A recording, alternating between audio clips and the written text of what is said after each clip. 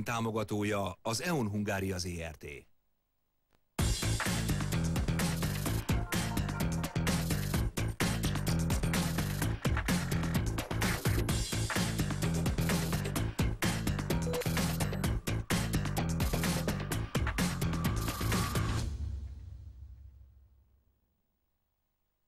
Köszöntöm kedves nézőinket! A befutó mai adásában elvisszük Önöket a francia tengerpartra, és ellátogathatnak velünk egy budapesti templomba is, de először, ahogy már megszokhatták, nézzük képes tartalomjegyzékünket.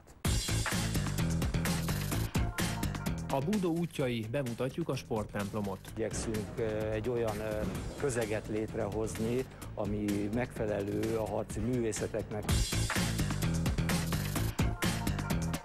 VB előtt minden idők eddigi legnagyobb világversenyére készülnek a kiósok. 4000 ember fog indulni 120 országból, Olaszországban a Rivierán.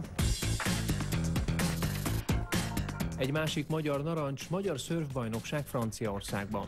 Kezdjük megismertetni a magyar szörfösökkel, hogy van egy ilyen verseny, jövőre is lesz, és hogy mindenképpen számoljanak vele.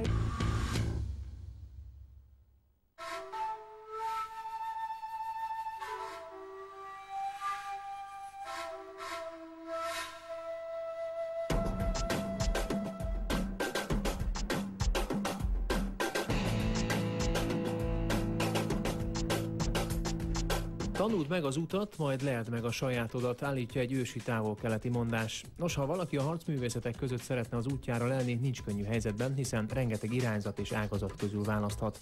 A feladatot azonban némileg megkönnyítheti a Sporttemplom névre keresztelt központ, ahol összesen 12 harcművészeti szakák tart edzéseket.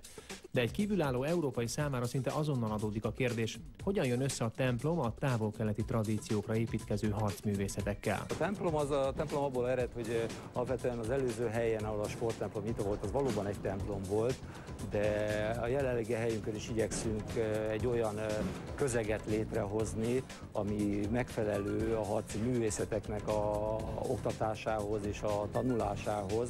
Tehát nem szeretnénk egy a harci művészetekhez nem eléggé felnőtt helyen foglalkozni ezzel a dologgal. Én hiszek abban, hogy ez van olyan fontos sport, a sportnak nevezik, mint bármi más, és azok az emberek, akik ebben magukat otthon találnak, illetve szeretnek ezzel foglalkozni, azok megérdemlik azt, hogy egy nekik megfelelő helyet teremtsünk számukra. Eredetileg a létrehozásnak az oka az volt, hogy szerettünk volna saját magunknak egy dojo egy edzőtermet létrehozni. Ez volt a, a kezdeti ok. Nem gondolkoztunk semmi olyanban, hogy mi szeretnénk mindenki más belevonni. Elsősorban saját magunknak kerestünk egy helyet, egy olyan helyet, ahol mi jól érezzük magunkat. Miután ezt létrehoztuk, akkor rá kellett ébrednünk arra, hogy itt azért van hely másoknak is, tehát időben is, területben is van hely másoknak is, és két harci művészet, hogyha olyan csoportok vannak egymás mellett, akik értelmes oktatók, értelmes edzők, akkor meg kell, hogy értsük, hogy mi nem egymásnak az ellenségei vagyunk, és nem egymásnak a, a nem tudom, a munkáját veszük el, hanem igenis sokkal erősebb tud lenni akkor, hogyha közösen dolgozunk egy adott helyen, mert eh, ahogyan nincs egyforma úszás, hanem sokféle úszás van, de mindenki úszik, és nem mindenki ugyanazt az úszás nemet szereti, ugyanúgy a harcművészetek iránt érdeklődőknek a tábora is igen széles, és nem feltétlenül egy vonalon gondolkoznak, hanem szeretnének, van, aki ezzel, van, aki azzal foglalkozni, és így, hogyha bejön hozzánk, akkor elég széles a paletta ahhoz, hogy mindenki találjon valami olyat, ami az ő profiljába leginkább beleillik. Most már 5 éve foglalkozunk ezzel, azok a csoportok, akikkel együtt vagyunk, azok gyakorlatilag ennyi ideje együtt dolgoznak, megismertük egymást eléggé.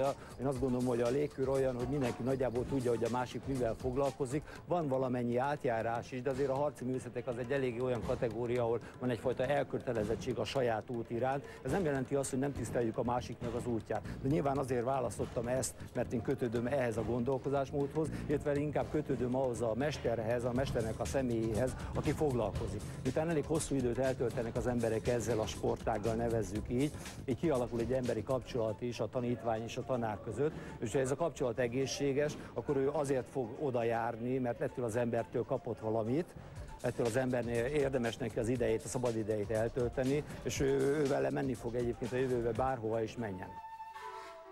És ha már a mesterekről és tanítványokról esik szó, ott létünk kor a harcművészetek egyik világszerte legismertebb alakja, a magyar származású, de már lassan 50 éve Izraelben élő Ron Klug